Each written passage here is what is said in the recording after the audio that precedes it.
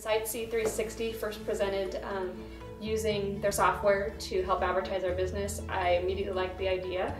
We live in a small town and we're one block off the highway, so to really be able to direct people to where we're at, how easily accessible we are, even though we don't have um, that visibility from the road, I thought it was a great idea. Uh, very quickly took all the photos he needed and within a couple days it was uploaded already without me ever having to check with him. So that part was really nice. Everything moved so smooth and efficiently. But we definitely want to use it as a new way to highlight ourselves on some social media sites. I think it will be fun to uh, add that view into Facebook so people who haven't been here or maybe haven't been in a few years can take a peek at that. We remodeled so they can see some of those things really easily without having to even look us up uh, because they already might have liked us or uh, know to look at my page once in a while.